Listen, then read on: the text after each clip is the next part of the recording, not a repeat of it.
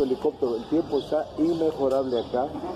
Puede entrar el helicóptero, trae el dinero, la gente que lo traiga, pum, se baja, el helicóptero regresa. En un helicóptero rentado con matrícula, el eh, candidato al gobierno del estado por el Partido de Redes Sociales Progresistas, José Luis Romero Calzada, realizó una gira por varios municipios de la zona huaxteca.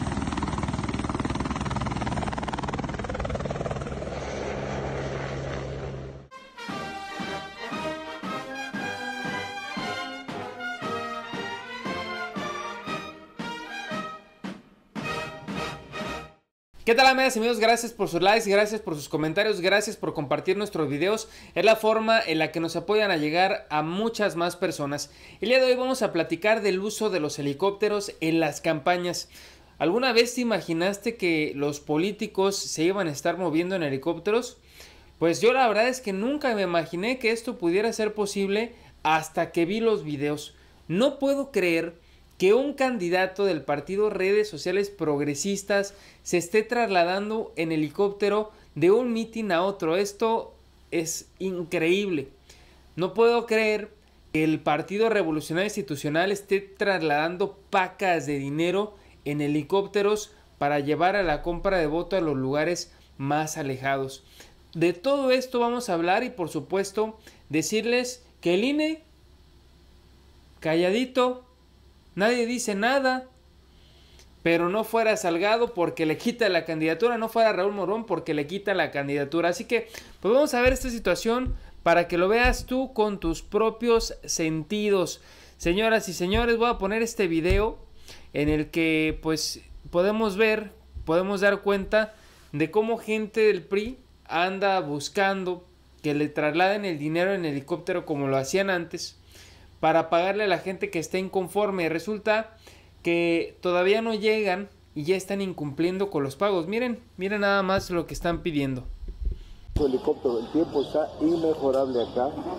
Puede entrar el helicóptero, trae el dinero, la gente que lo traiga, pum, se baja, el helicóptero regresa, paga y resolvemos el problema. Pero son ahora tres pagos los que tenemos que hacer. El pago que se tenía que hacer. Punto uno, el pago se tiene que hacer ahora de los gastos que hizo la gente para venir aquí a cobrar. Y tres, el pago se tiene que hacer de la alimentación de la gente que está acá. Llevan varios días de atraso por la compra de voto, por supuesto que esto constituye un delito. No están registrando el uso de estos helicópteros para las campañas. Y número tres, son la misma porquería de siempre. Y vamos a poner otro video, o más bien otra nota de este candidato de redes sociales progresistas, candidato al gobierno del estado de San Luis. Señores y señores, si escogen un candidato que se traslade en helicópteros, imagínense el gobernador que van a tener. No, no pasa de que al primer día de mandato se suba el sueldo, como ya saben hacer algunos políticos en helicópteros, señoras y señores. ¿Cómo pretendes entender un pueblo que se traslada todos los días en autobús? ¿Cómo pretendes entender un pueblo que todos los días está luchando contra las fallas de los gobiernos? Cuando te trasladas en helicóptero, como si fueras rey. Saben, en Países Bajos, mejor conocido como Holanda, el primer ministro anda en bicicleta. Y en México los candidatos andan en helicóptero. Creo que en, en este sentido y en muchos otros deberíamos de parecernos mucho más a los gobiernos que realmente aplican la austeridad, no como este candidato. Tendré que aprenderle, por supuesto, al presidente López Obrador que anda en yeta, anda de vez en cuando ahí en, en tren ligero, anda en carretera. Imagine lo complicado, lo complicado de de un presidente de la República de andar trasladándose en vuelos comerciales y este hombre en helicóptero. ¿Quién se cree que es? Y todavía ni gana, pero bueno. Esto lo publicaron para el Sol de San Luis en un helicóptero rentado con matrícula. El eh, candidato al gobierno del estado por el Partido de Redes Sociales Progresistas, José Luis Romero Calzada, realizó una gira por varios municipios de la zona huaxteca como parte de lo que consideró es el arranque de la segunda parte de su campaña. Me voy de vacaciones con mi esposa, dijo en redes sociales. Esto lo hizo, por supuesto, para no declarar este dinero porque en el tema de fiscalización si los traen cortitos. Es la forma en la que se han fregado a varios de los candidatos. Así que pues a ver qué show. Y siguen moviendo despensas, siguen moviendo, siguen pagando grandes cantidades por tus votos. Y una cosa sí te voy a decir también, por favor, si vas a vender tu voto, véndelo bien, pero al final de cuentas recibe el dinero y vota por quien tú quieras. Te voy a pasar un tip. Si, si vas a vender tu voto, cómprate una mica de estas que venden en la papelería y táchale una X. La gente que te compra los votos, la gente que te compra los votos, te pide que le tomes una foto a tu boleta. Entonces, compras tu mica, le pones la X a la mica y pones la mica en el pedazo del partido que te pidieron, del partido que te compró el voto, le tomas la foto y después votas por Morena. Así de fácil.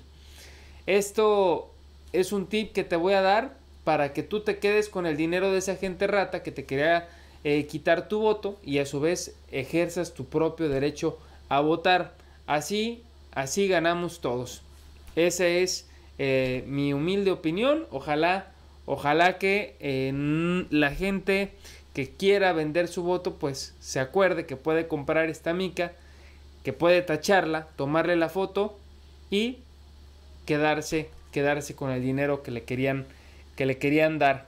No se dejen embabucar por mil pesos, por mil quinientos, por tres mil. Ese dinero les va a durar uno, dos, una semana. Los malos gobiernos, señoras y señores, nos han endeudado hasta por 30 años. Se las paso al costo. Y vamos a continuar porque aún hay más. Aún hay más, amigos. Como les decía, en San Luis también encontraron un tráiler lleno de despensas. Este tráiler ya es de del 21 de abril, pero como saben es de estas mismas campañas. No llegó ese tráiler de despensas y no está mal, no está mal que en despensas, ¿eh? Al contrario, me parece una gran idea. Hay gente que apoya de, de corazón, gente, empresarios, gente que se dedica a los mercados, gente que se dedica a, a la venta de mercaderías, gente que regala despensas. Está muy bien regalar despensas. Lo malo es que se haga a cambio del voto, lo malo es que se haga con fines electorales, porque luego esas despensas nos salen más caras y realmente ya tenemos la experiencia de gente que ha votado porque alguna vez le regalaron una despensa. Hay que pedir resultados, no vendamos nuestro voto, no dejemos que nos vendan espejitos a cambio de ese gran tesoro que tenemos que es el oro. Y ya para cerrar, bueno, dice Lina que investiga el tema, nunca supo quién fue, nunca dijeron nada y nunca sabrá nada. ¿Por qué? Porque Morena no está involucrado, así que si es, si no es de Morena, al INE no le interesa. Y miren, este ya es el último video, el último y nos vamos.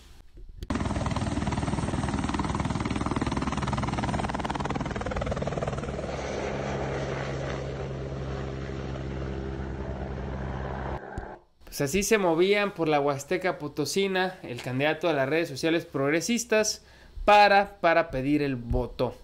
Pues amigas y amigos, llegamos al final de este video. Saludos a Peluso el Chido, a Domingo Santiago, a Chiquis Guerrero, otra vez a Milili González que seguido nos comenta aquí. Éxito para ti también. Eh, saludos a Yosraf Pervic, a Jesús Ávila, dice Chale, yo que estaba por celebrar, ahora salen con que siempre no. Saludos a Rosa Rodríguez, también a Guillermo Rodríguez Sánchez, a Alejandro Barrón.